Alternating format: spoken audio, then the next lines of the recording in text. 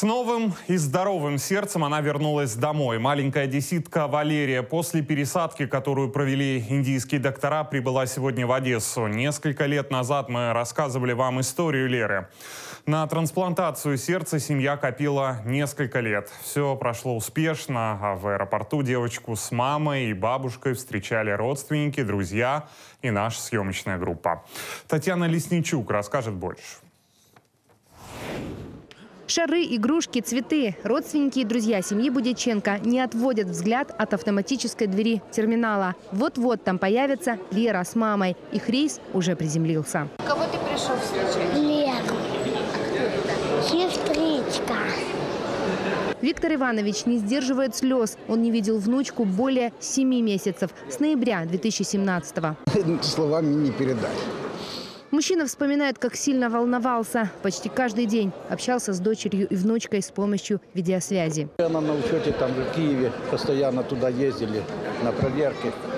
Ну, никто надеялись, что все с возрастом пойдет.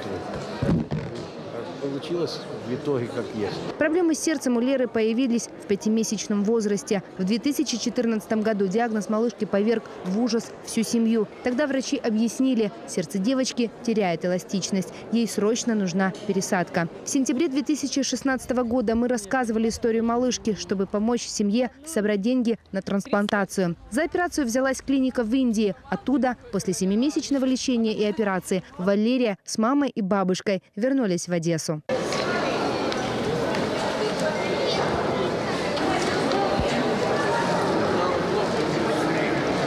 Врачи там нас обнадежили, сказали, что есть возможность э, все-таки лечить. Но у нее был приступ в декабре, феврале месяце. И после этого приступа срочно пришлось решать вопрос, э, и ей сделали пересадку сердца.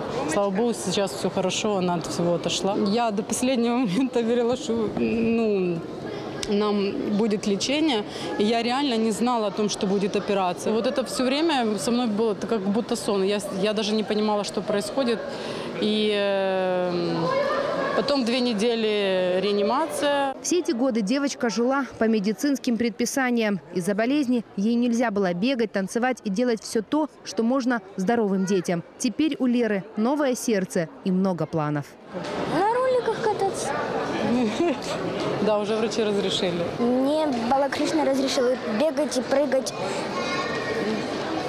Ну, чуть-чуть. У нее сейчас первый год очень много ограничений, потому что она сейчас должна минимум посещать массовые все мероприятия, болеть нельзя.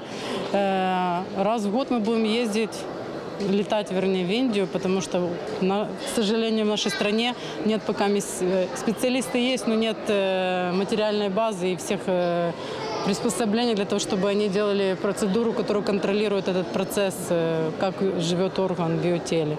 Валерии предстоит еще долгая реабилитация, а пока девочка с семьей отправилась. Домой. Татьяна Лесничук, Евгений Руденко, Седьмой канал.